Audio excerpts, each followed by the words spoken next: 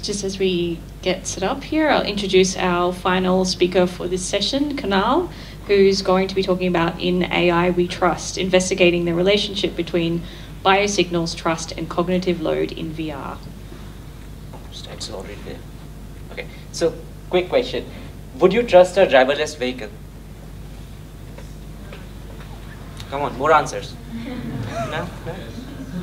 Okay, you might have already seen the answer. So, according to AAA, 71% of the Americans are afraid to sit in a fully self-driving uh, vehicles.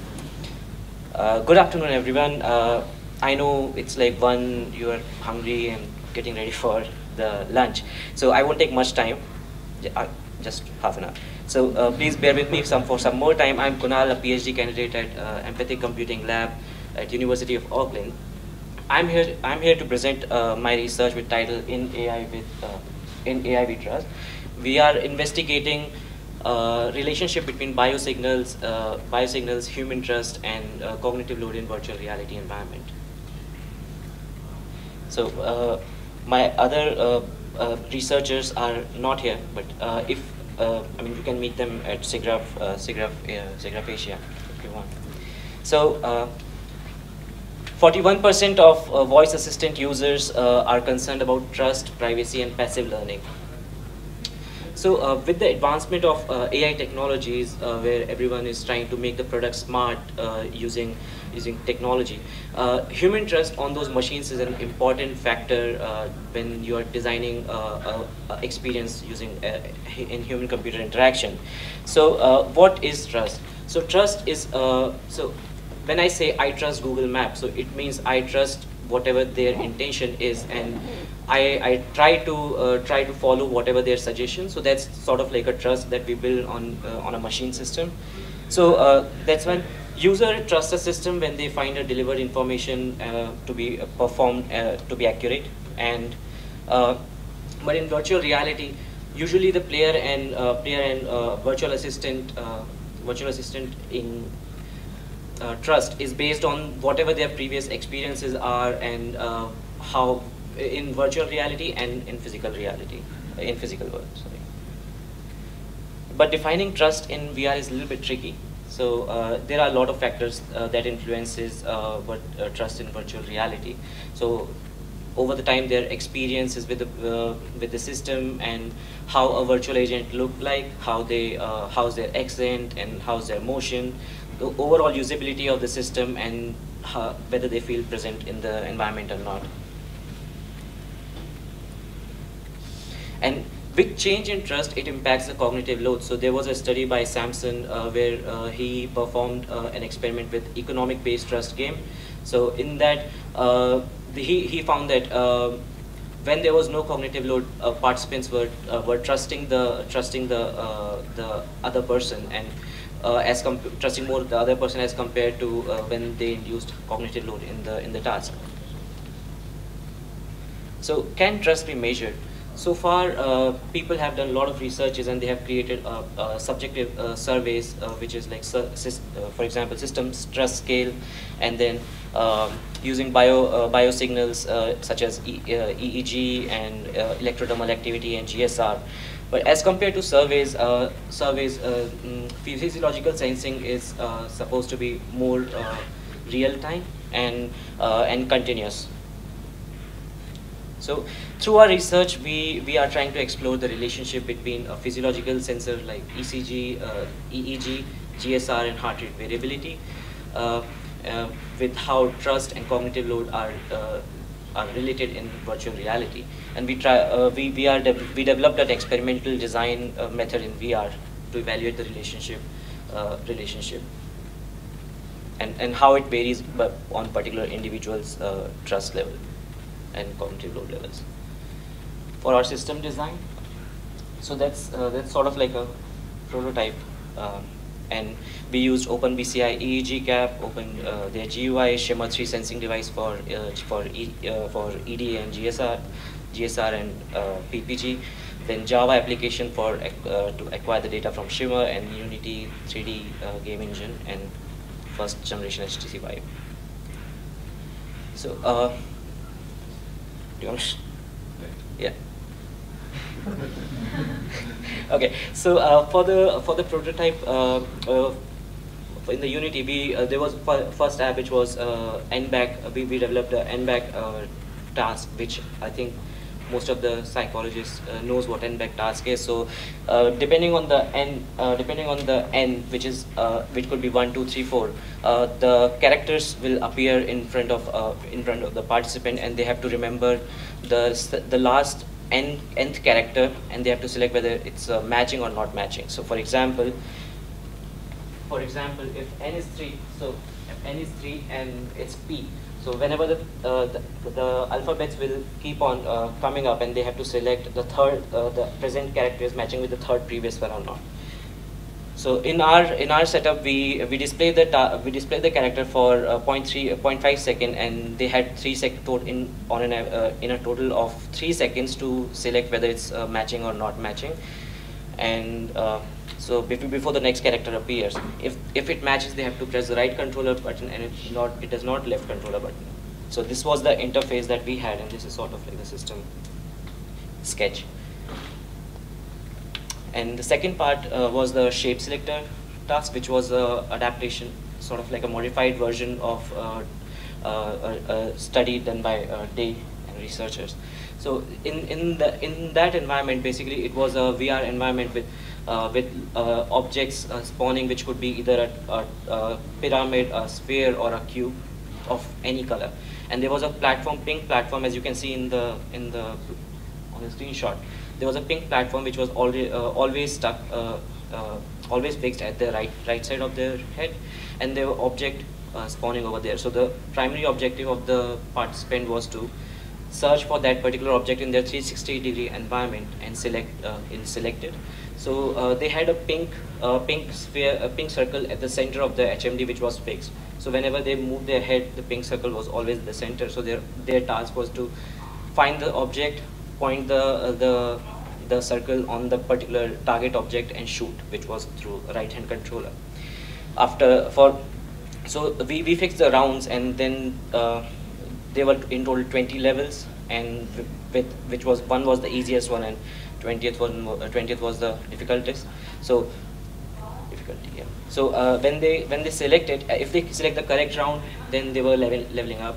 If they select uh, if they select the incorrect object, and or if they ran out of time, which which was depending on the condition, so they'll level down, and yeah. So that was. Okay, so we uh, for our experiment uh, we introduced a virtual uh, virtual assistant which was a which was basically a voice assistant whose primary objective was to tell the direction of uh, the target object where it was spawning. So, uh, for example, as the round starts and the participant and the target object is on the right hand side, the virtual assistant would be saying uh, right. So they have to turn right. So this was the assistant that we were providing and uh, pro providing in some conditions and depending on the condition the accuracy so we we uh, modify the accuracy of the virtual assistant and depending on the condition whether it was 100% accurate or 50% accurate so this was the screenshot and this is the sketch of the second task. For the hardware setup uh, we uh, we used EEG open open BCI EEG cap and uh, this is how the the setup looked like. So we had a head mounted display which was HTC Vive and open BCI cap. And then we placed the shimmer sensing device on the non-dominant hand and uh, so the GSI electrodes were uh, were hooked up on their in, uh, index finger and middle finger. And PPG uh, sensor was uh, hooked up to the non-dominant side of the ear, the earlobe of the non-dominant side so uh, yeah and so for EEG we used prefrontal prefrontal cortex uh, lobes which are FP1, FP2 and parietal, uh, parietal P3, PZ and P4 and occipital O1, O2 channels. And data was required at 125 uh, hertz frequency from OpenBCI and 128 hertz from Shimmer. So our user study yeah so uh, it was a simple 2 by 2 study uh, with with uh, uh, with virtual agents accuracy and uh, and cognitive load as uh, as dependent variables. So for cognitive load, for low cognitive load, we gave uh, participants 10 seconds of time to search the object at each round. And for high cognitive load, we gave them 5 seconds. The for low accuracy uh, agent, we gave them 50%, uh, the accuracy of the agent was 50%, and for high accuracy, it was 100%. Yeah, please have a look at the these uh, these blocks. It might be useful for later for the presentation. For for our experiment, we had 13 participants. So this was sort of like a pilot study that we did uh, because we couldn't get the ethics approval on time. So we there were total of 13 participants with six female and seven male. Average age was uh, 26.6 and standard deviation 3.93 and so all uh, the the criteria for all the participants were uh, they were either they were either native English speakers or they were fluent in English. They were familiar with computers or and smartphones. They had some experience of uh, VR and they had they have used uh, virtual assistant in daily uh, daily day to day life daily life. Uh, so we measured, uh, so we had uh, for subjective, uh, we had three categories basically, subjective measure and then biosignals and behavioral measure, measures. For subjective, we use NASA TLX to, uh, to, uh, to measure the cognitive load of a part of the person. And system trust scale for trust. And for biosignals, we use EEG, skin conductance and PPG that we later converted to HRV, heart rate variability. For behavioral trust, we so we had this thought that uh, when someone calls you and if you i don't know like if you trust a person and uh, you look towards them. So the idea was uh, as uh, we measure the head movement of the participant as soon as they uh, they uh, the virtual assistant tell the, tell the direction. So we were just comparing and checking whether they trust or not. For results so system trust scale showed a significant main effect of accuracy. uh, however, we couldn't find any significant uh, main effect for cognitive load or uh, any interaction effect of cognitive load and accuracy. So through NASA TLX, uh, there was a significant main uh, effect of cognitive load condition and there was a interaction, a significant interaction effect of cognitive load and accuracy on participants perceived task load. Yeah, uh, there was a, uh, when we analyzed the head movement, uh, we found a significant main uh, main effect of accuracy with uh, accuracy based on their average head movement. Uh, on, so we for EEG analysis we used alpha band. So EEG has five five bands: delta, beta, delta, theta, alpha, beta, gamma. So depending on whatever frequency range it is. So but uh, through previous research, uh, E alpha band basically uh, tells about the brain activity level. So for most of the, if you have used Muse band or something for meditation, they basically use the alpha band uh, to calculate the brain activity and your meditation level. So we used uh, alpha band and we uh, we found a positive positive correlation between low cognitive load, low accuracy, and low cognitive load, high accuracy tasks. Uh, there was we couldn't find any other uh, correlation. So uh, this is the heat map of the overall all the participants. So as you can see, like the condition A is the low cognitive load, low accuracy, and C is the low co cognitive. So there there's some some similarities that you can see.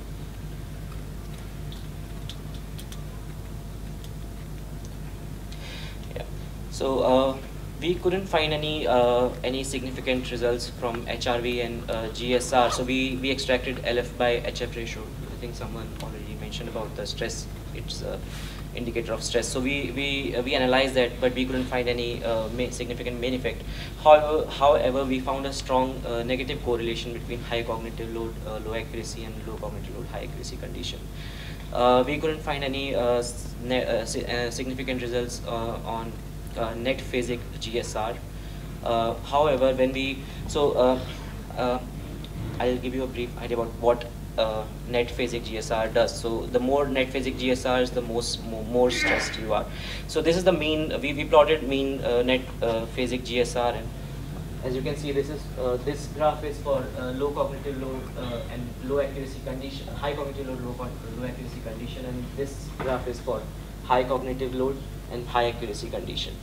Just remember, I'll discuss it in the discussion. So, discussion.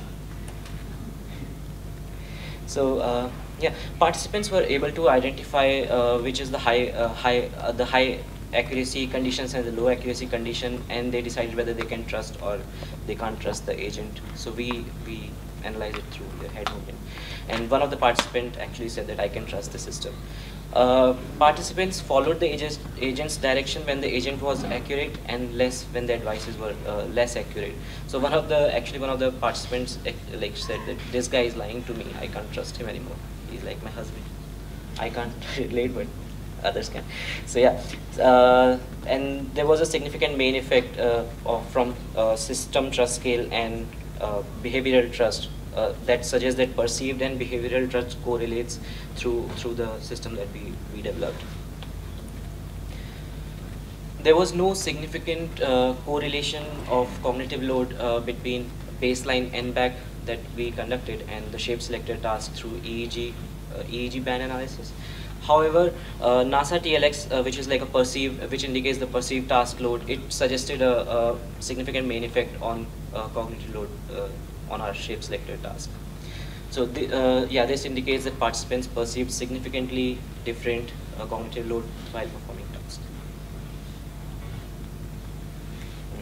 For low cognitive, uh, for, for low uh, cognitive load conditions, participants' uh, task load, which is the EEG band, uh, decreased, task load increased, that means EEG band decreased, when they were performing low, low virtual assistant accuracy tasks as, as compared to high accuracy tasks and vice versa.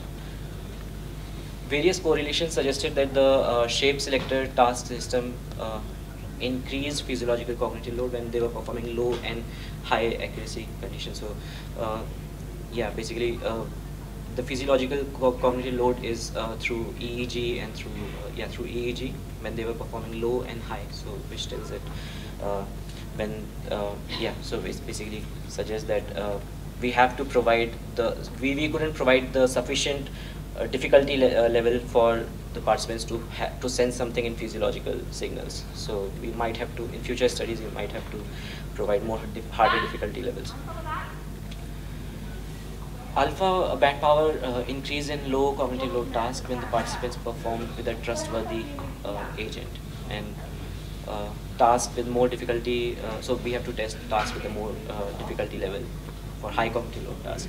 So basically our system uh, suggests that uh, for now, for low cognitive load conditions, uh, EEG band, uh, alpha band power reflects the VA trustworthiness. Limitations, so we need a better uh, EEG system because this open BCI cap that we had uh, is of limit, has terrible actually EEG systems usually have terrible uh, spatial uh, resolution, but uh, OpenBCI has limited temporal resolution to capture the brain activity and uh, we just had one cap which is the minimum size uh, medium size cap. So there the uh, people from with different head sizes had to had to wear do only those caps. So because of that we we think that there could be some more analysis and more more filtering that we had to do. So yeah i as, as I already mentioned, the tasks were not difficult enough. So the perceived cognitive load uh, was distinguished, but uh, not that difficult that can be seen through EEG. And uh, yeah, might be possible that the room, the and lab setup was uh, pretty much comfortable, and that might have like, uh, and it was familiar, so they might have not felt actually stressed or high cognitive load. Yeah, there was a lot of uh, noises uh, in, in data. So uh, because of the head movement in VR or body movement, we try to minimize the movement as much as we can. But still, uh, because of the electrode uh, electrode uh, contact, when it lost the contact during the motion, there was a lot of noise. And then there were since it's a it's a research lab with a lot of computers and Bluetooth and Wi-Fi there was uh, there was a lot of noises from uh, uh, interferences from different devices. However, we tried to keep the the room uh, secluded, and we asked everyone to turn off uh, the put the the phone on the uh, airplane mode. And because of the setup, I think.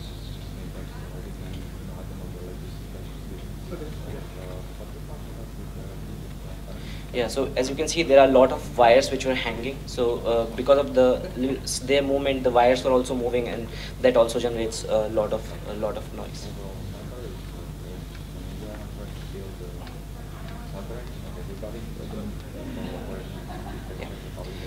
So conclusion.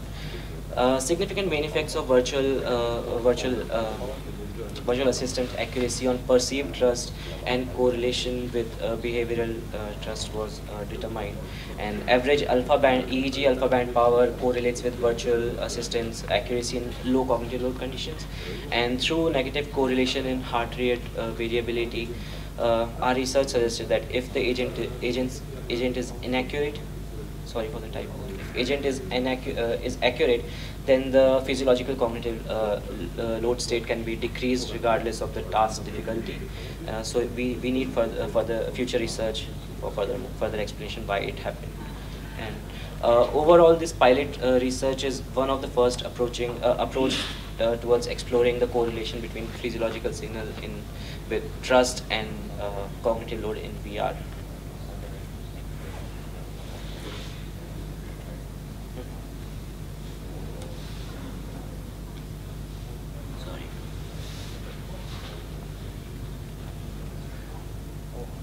in future work. Yeah so we have to design the the tasks harder. We we actually were uh, discussing how we can do that. So we were thinking maybe we can if we can uh, combine n-back task and uh, n-back task as a DRT which is um, like detection response task and have the the main task going on. So there are like two tasks uh, in parallel. So it can increase the cognitive load. And uh, yeah, it can make the task harder. And maybe we have to uh, explore other EEG devices with better, uh, better uh, temporal and uh, spatial uh, resolution. And uh, yeah, we have to we have to find out. So first of all, we have to figure out how to minimize the motion. like how can we constrain the sensor motion, and we have to investigate on better motion artifact removal algorithm. Uh, if, if, if we can train the model using IMU sensor, uh, if we can detect the, the motion predicted, then we can do better signal processing. And then uh, maybe because we just considered head movement right now for the behavioral uh, trust, but we might, uh, we, we actually we should include uh, eye gaze as another modality which can tell about the instant, instant direction where people are looking at. Yeah, so that's all about my research. Thank you very much for listening. Any questions? Thank you very much. Do we have any questions?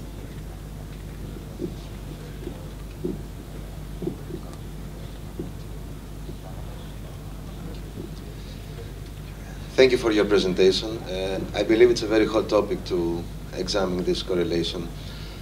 Um, I'm doing research more than 10 years in EEG and uh, this area, and uh, one of the big problems which you mentioned is uh, noise. Can you explain to us uh, how did you reduce the noise, especially on movement?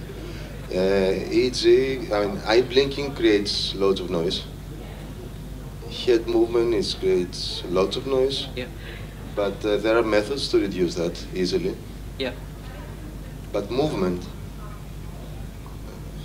is really tricky. So can you please provide us some insights of how you reduce uh, noise. Definitely not. I don't dare to do movement. Yeah, yeah, that, that's an amazing question, and I asked the same question to other researchers because I was like also exploring how we can reduce that.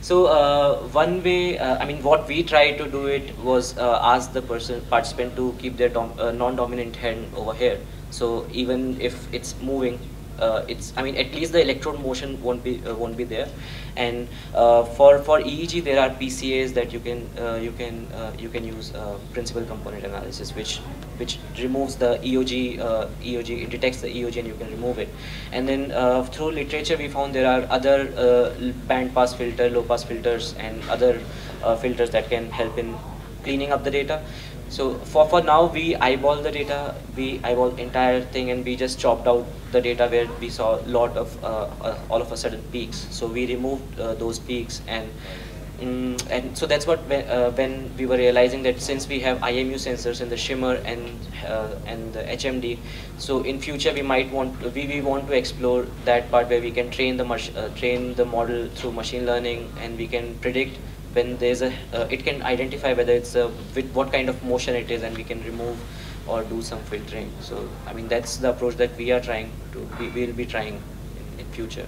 But for now we just eyeball the data and remove that, that section where there was a lot of noise, and otherwise just move through moving moving average or something. So are you confident that you have proper data?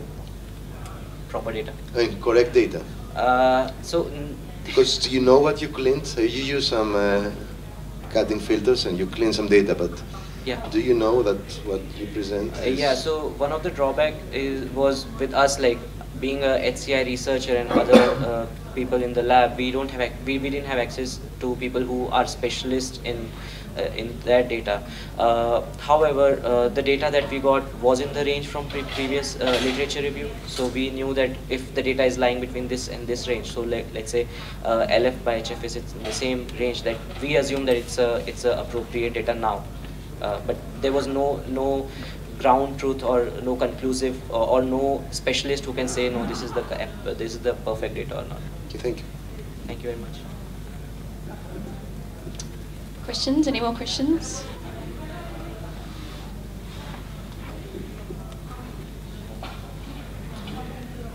Okay, great. let's uh, thank Kunal again and we can head to lunch.